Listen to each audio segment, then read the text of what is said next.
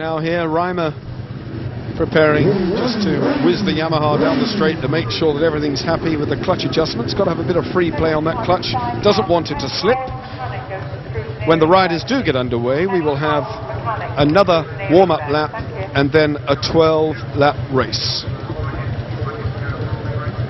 Super Cup now the Premier British Championship and the publicity obviously from the television and the newspapers bringing the crowds in in their droves here to Oulton Park.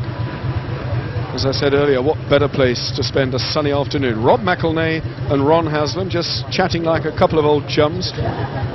In fact, Steve, obviously, all the riders know each other so well and the best of friends. Well, yeah, they are. There's, uh, there's, there's uh, I wouldn't say the best of mates, a lot of them, but they, they do associate with one another, and there's always a helping hand. If a rider has a problem or a team has a problem, then they're quite happy to lend a hand. Uh, it's a great uh, series of racing, and I think most people get on very well, and, and everyone will help one another, and it's vitally important to keep the atmosphere going in motorcycle racing. Man in the left of your picture, Ron Haslam, Rocket Ron, in the twilight, and I know you won't mind me saying that, the twilight of his career at 35 years of age, one of the most respected riders on the British scene. Has been away the, on the Grand Prix scene for just about eight seasons, came home to the UK 1991 to contest the British Championship for Norton as teammate Trevor Nation, who you saw fall so heavily at the start of this race.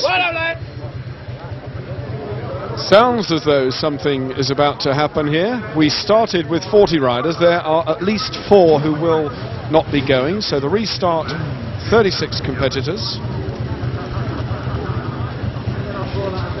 Everyone clearing the grid now, so we have about a minute before things get underway. The yellow bike being bump started in the middle of your picture there.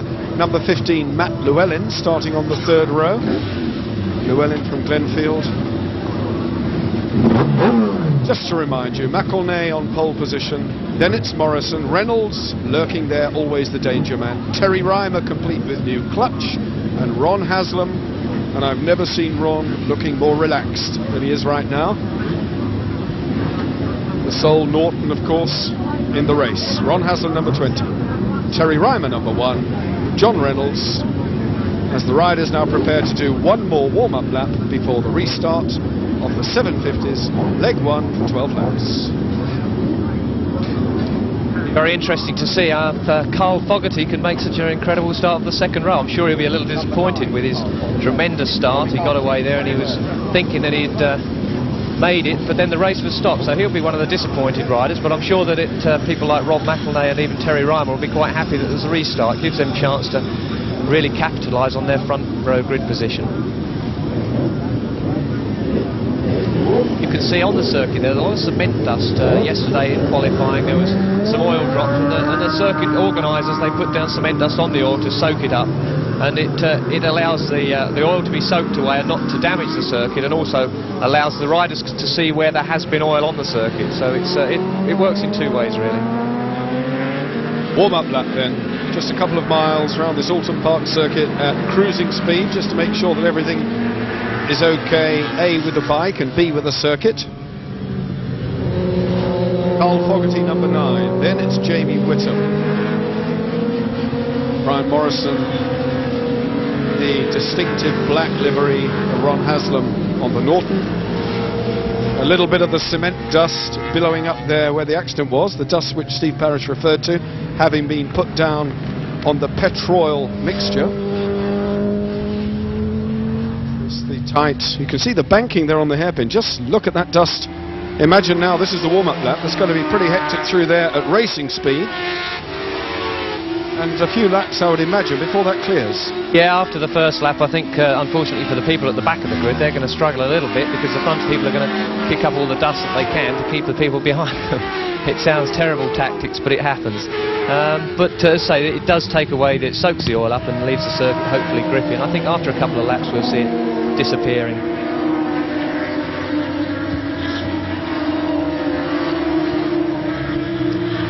Organisers have just advised us literally that the restart will take place over 14 laps the full race distance. 38.78 miles then once the green light goes. And just referring very quickly to the dust on the circuit. Reminds me of the motocross days when some of the riders used to drag their feet deliberately on the ground to create dust. And an update on the fallen riders, there are no serious injuries resulting from that first lap incident. So we saw three of the four men up and walking about, the other one a few knocks and bruises, but no serious injuries. So good news indeed from Oulton Park. Sorry about the delay, a couple more seconds, and the 750s will be underway for 14 laps, 36 riders. Does this sort of delay uh, unsettle the riders at all, Steve? Well, yeah, different riders take it different ways. Um, I think the more experienced riders will perhaps benefit from it because it'll unsettle the more inexperienced. But I hope the organisers have informed the teams and riders that it's still 14 laps and they've had chance to top up the fuel because feel that each team will, and rider will only run the minimum amount of fuel because fuel adds to weight and weight loses horsepower. So they run on the limits. But we're ready for the start now. The red light is up. Watch the lights, top right of your picture. See if Carl Fogarty can repeat that electrifying start from the second row. That's a good start by McElnea and Reynolds. So Rob McElnea and Ian Simpson again. Number seven, Ian Simpson. Third, fourth, right in the middle of the picture there with the yellow helmet, number seven. But he's in busy traffic indeed. Terry Rymer is in third. Yamaha teammate Rob McElnea is out in front, number eight. Championship leader then McElnea from Reynolds number six. Then it's Terry Rymer. Then it's Ian Simpson number seven, looking like Carl Fogarty having gone past number nine. Fogarty then up to fourth. Simpson down to fifth. This is Carl Fogarty, Team Silcolene Honda man. Experience. TT competitor as well, Fogarty from Blackburn in Lancashire. What a brilliant ride he had at Cadwell in the previous round. But look at Reynolds and Terry Rymer. Reynolds on the Kawasaki, number six, in between the two Yamahas.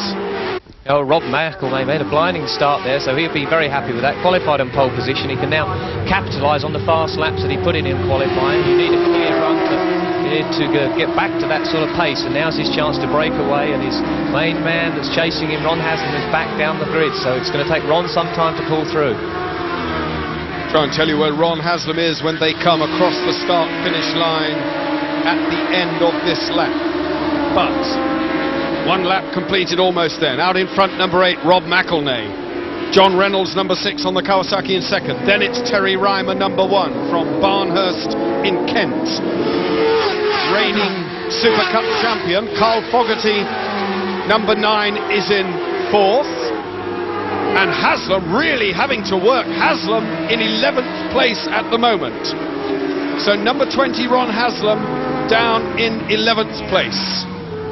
Yeah, that was an atrocious start for Ron Haslam. There he is, down in 11th spot now, so he's got an awful lot of work to do, and there's a lot of very formidable riders up in front of him. So he's got to work very, very hard to keep his championship hopes alive. Just gone past number 25, Mike Edwards from Wigan. So Haslam then in 11th. Ahead of him, it looks like Ray Stringer. It's No, it's not Ray Stringer, I beg your pardon, that's Mark Linscott. Mark Linscott from Mottingham in South London. Linscott number 18 then, with Haslam breathing down his neck. This is the race lead at the moment. Number 8, Rob McElnea. Reynolds giving it everything he's got on the Kawasaki. Third is the best he's done so far, but the 1, 2, 3, 4 at the front of the bunch really going for it. A brilliant start, Steve, to this 750 as well.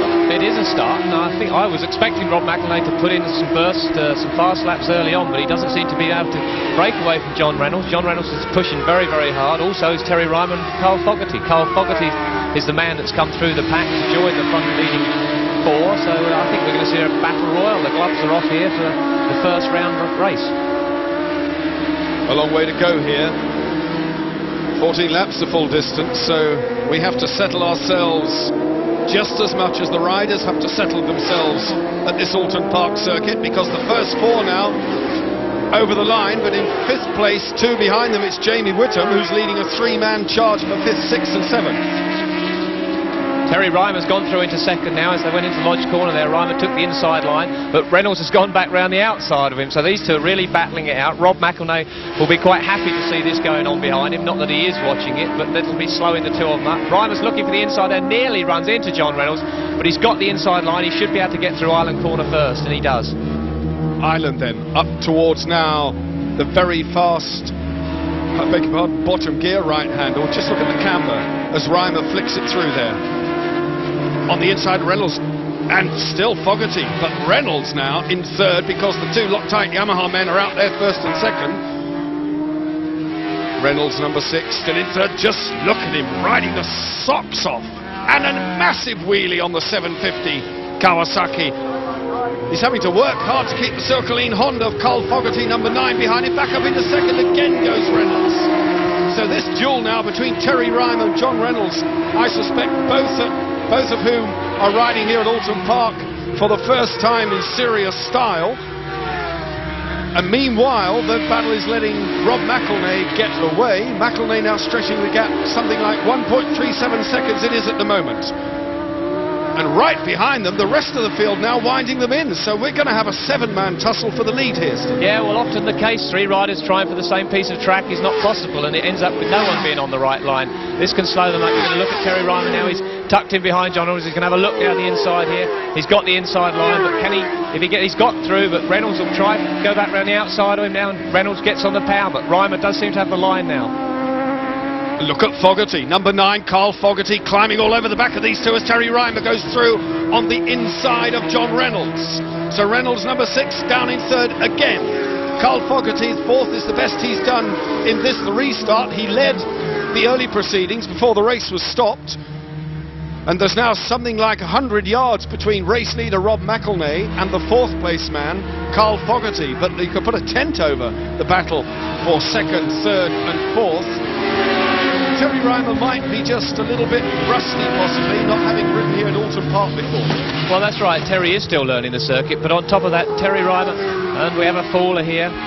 He's up, and know, they'll be trying to clear the machine as quick as possible, but it does look like it's deposited something on the track, so we might have to see some more cement dust. Meanwhile, John Reynolds nips through again as they go into Knickerbrook. Oh, great stuff.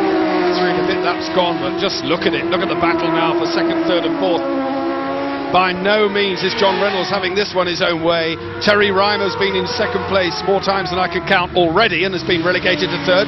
Meanwhile, Carl Fogarty, who is possibly one of the hardest riders out there in terms of what he puts into it, and you can certainly see just how hard Carl Fogarty works. He climbs all over the Honda, and it's number nine we're talking about now. Carl Fogarty looks over his shoulder. He knows the place is safe for the moment.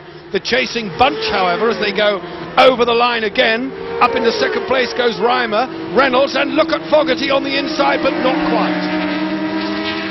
Yeah, well, Terry's having a tough time. What I was about to say earlier, Terry's running his, his superbike specification machine, which is a little down on power because you have to run standard carburetors. So that's a completely stock carburetted model machine that he's on, as his number one machines are in Japan. So he's down a little bit on top speed, but he's certainly making up for it around the corners.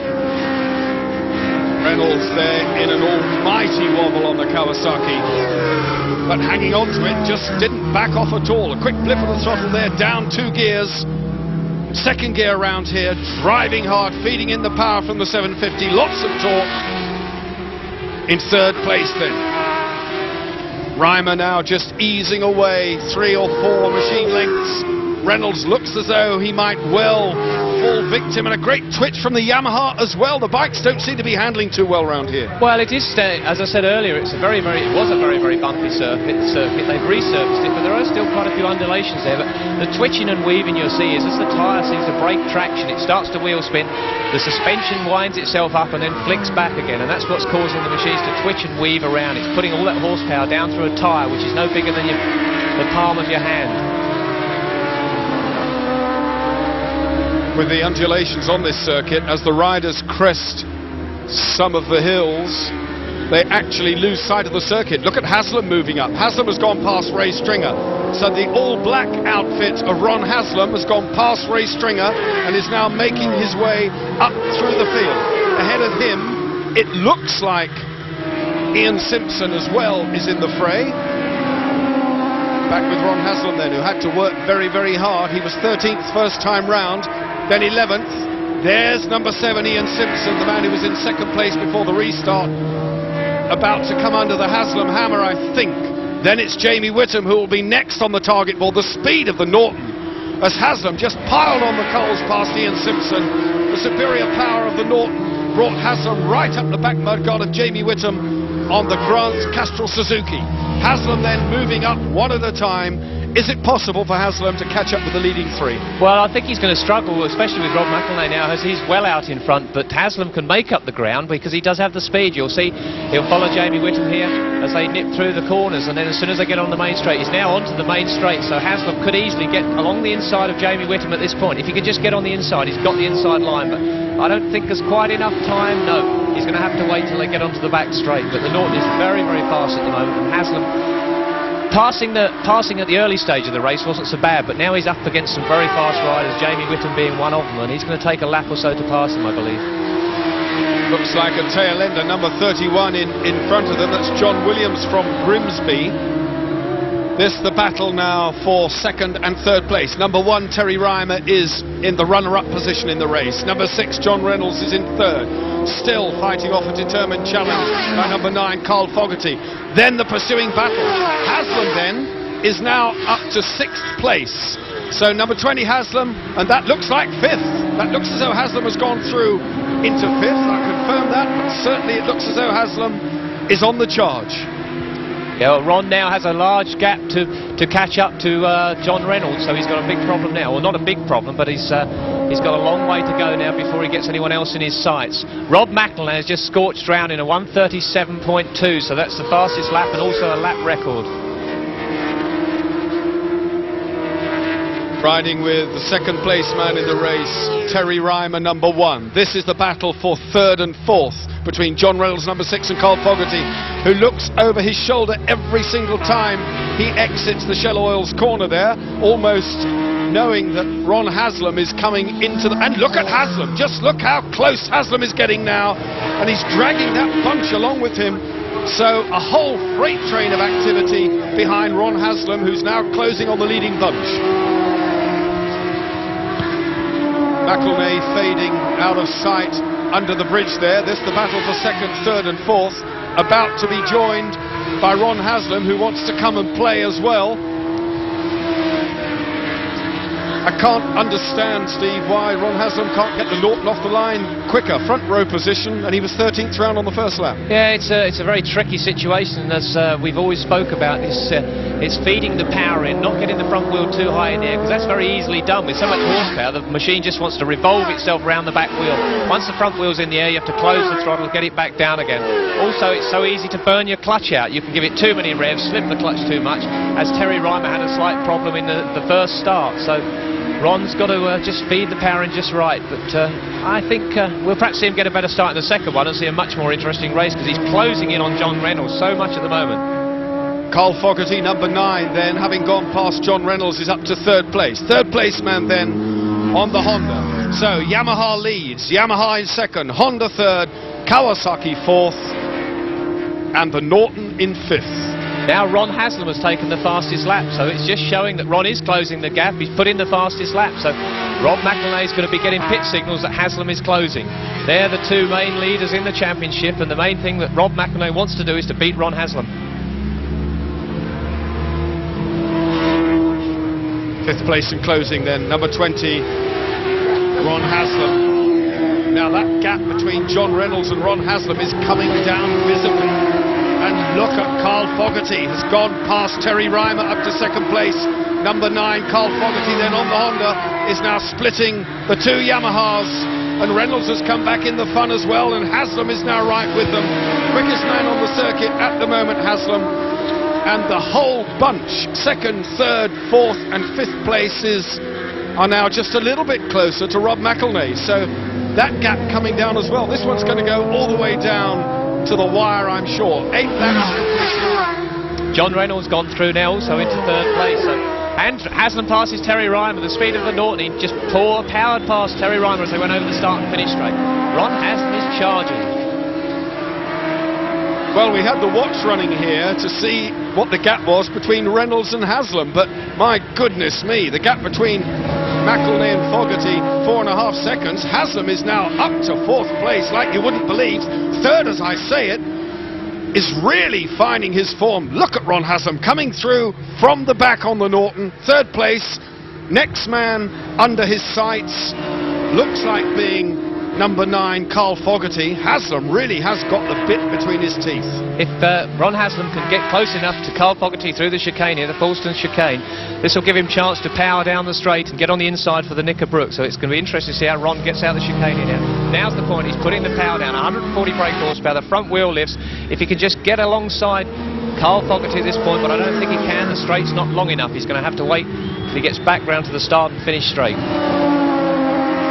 John Reynolds, number six, then in fourth place on the Kawasaki, has broken away with Ron Haslam. Terry Rymer, I suspect, has a mechanical problem because he slipped off the leading bunch and the way that Ron Haslam went with him, went through him was unbelievable. Rob McElnea then, number eight, out in front, but he'll be well aware of what's going on behind him because the pit crew will be telling him that Haslam is making progress like there's no tomorrow. He's in third place at the moment.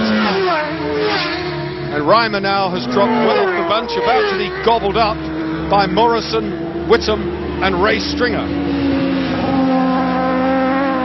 Haslam is having a harder time to pass Carl Fogarty. I say the nearer the front you get, the harder it is to pass a rider. But this is his place. He'll go into Knickerbrook here. Oh, he's gone through on the inside. I was about to say he'll get on the power coming out. But Ron is charging. He's pushing that machine so hard at the moment.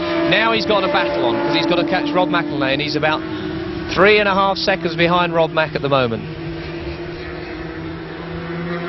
White power suspension on the Norton, getting him round beautifully there. Now this is it, up on the inside, Steve. Comes through nicely. Yeah, I'm sure that will have given Carl Fogarty a real surprise because that's not the normal place that Ron would have gone through. I'd have expected him to do it on the exit, on the power, but he didn't. He broke much later than Carl Fogarty and pulled the machine in time. He's charging. Whether he can see Rob McElnea in the distance now is another matter. Lap 10 then, the full race distance 14, so still time for Ron Haslam to do it, but we now need to know what that gap is between race leader McElnea and Haslam when they come over the line next time. Fastest part of the circuit, flicking it right. Oh, around Druids. That's the gap between the race leader. Second place on the Black Norton is Ron Haslam. Third place, it's still Carl Fogarty. But look at Haslam. He's stretching away now from Fogarty. Can he wind in number eight, Rob McElnea? The point position at the moment, and they get 20 for the win, 17 for second, is that McElnea leads the championship on 116. Haslam is only 15 points behind him. So Haslam certainly needs to do something in the top two, and he really needs Rob McElnea not to finish. Well, he does, but the way he's going, it's 3.71 seconds. Ron, Ron Haslam could see Rob McElnea in the distance, which will help boost him along. He'll be able to see that he's pulling him down yard by yard. He's still the fastest man on the second. He's one second under the lap record. That's an awful lot of time. One clear second under Carl Fogarty's lap record. Haslam has had a whole string of second places throughout this 1991 750cc Super Cup, but pulled off, in fact, a win at Brands Hatch when it was just a little bit greasy. In fact, that was a very convincing win indeed. That was the only win in the series. He'd very much like to get another 20 points. Conversely, Rob McElnea has had no less than five wins. So, 100 points out of five wins. That's why McElnea is sitting pretty on top of the pile. But Haslam now has got that gap under three seconds and closing still in dramatic fashion on the back end of Rob McElnea.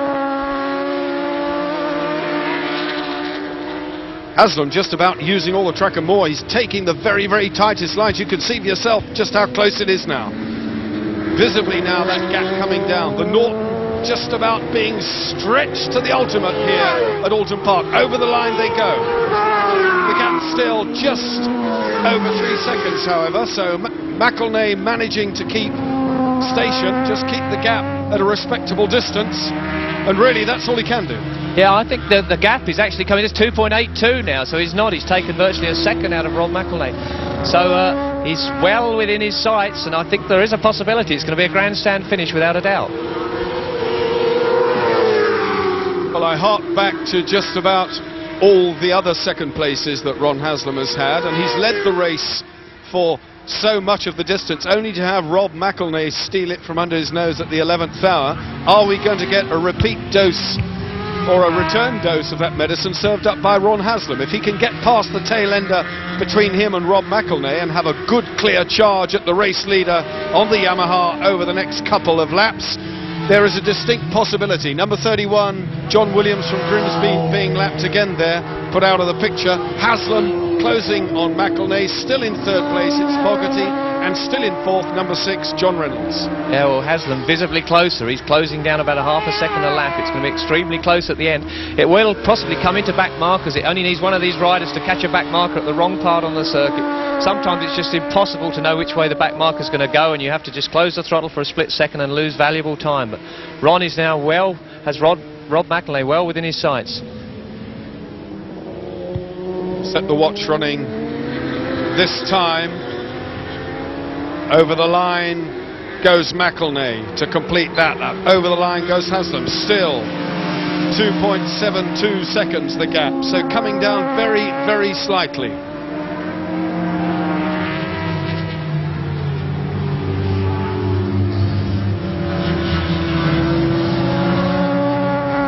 Pictures tell the story here. You can see it all unfolding before your eyes. Haslam has now got a back marker again between himself and the race leader. And I think Ron Haslam might just have to struggle, and McElnea appears to have it under control. He does. Rob has picked his pace up, and he's holding that gap now. It's only gone down a few tenths, and in fact, uh, Ron Haslam is closer, but I think he's going to struggle. He has to make up two and a half seconds in uh, just over a lap. So to do that, or a lap and a half, to do that, it's going to be quite incredible. He's going to be close, but I think if Rob can keep this pace up, he can hold that first position. This is the race then for first and second place in this leg one of the 750cc Super Cup, round five here at Oulton Park. And what a dramatic start it's been to the day's events. The race stopped after half a lap with an almighty tumble. All four riders, however, whilst a little bit knocked about, are okay, no serious injuries. After a short delay, the race got underway, and it all the promise which the first stage bore has been proven true here because it's unfolded with Rob McElnea getting a brilliant start in the restart, taking advantage of that front row position, the pole position.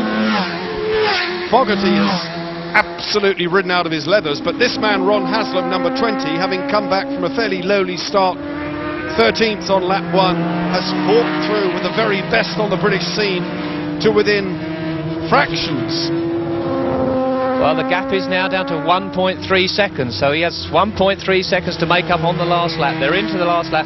Ron Haslam can see Rob McElnea. Whether or not he can close it down is going to be another matter. I don't think he can, but I could be wrong. 30 years of age, Rob McElnea. Five wins already in the four rounds so far, and that sounds odd because there are, there are in fact two 750 races at each round, so we've actually had eight 750cc races so far, and Rob McElnea has won five of them. Haslam has only won one of them, but he's had a whole string of second places, and it looks as though this is going to be another second place and 17 points to add to Ron Haslam's tally. Only one more round of Super Cup to come, and that is from Mallory Park. Meanwhile, while here at Oulton, with 1.3 seconds separating them, there's the tail ender that Steve Parrish was talking about, can cause a problem, and indeed he held up Rob McElnea there because Haslam, one more tail ender, number 26 between them, that's Simon Watson. Wally Watson from Saffron Walden is just ahead of Ron Haslam, but Rob McElnea now across the line, collects the checkered flag after 14 laps. Haslam, a brilliant second place, not quite good enough, but 17 points. There's your race winner, number eight, from Scunthorpe, Humberside, Rob McElnea. Big crowd here appreciating that. McElnea certainly appreciates it. Ron Haslam, now let's see just what sort of sentiment Ron Haslam has for the winner because I know for a fact Ron would dearly have loved that win. Yeah, Ron would have liked that win, and had he had a better start, I think there's been a great possibility that he would have got it because by far the fastest man on the circuit. In fact, he let he set the fastest lap right at the end of the race, and uh, it just goes to prove that he's going to be a big, big problem for Rob McElnea in the second round. Confirmation then, Rob McElnea took that win from Haslam. The gap was two seconds at the end of the day. Fogarty rode hard for third. Reynolds, Morrison and Race up on top. 16 points and McWilliams. Let's see.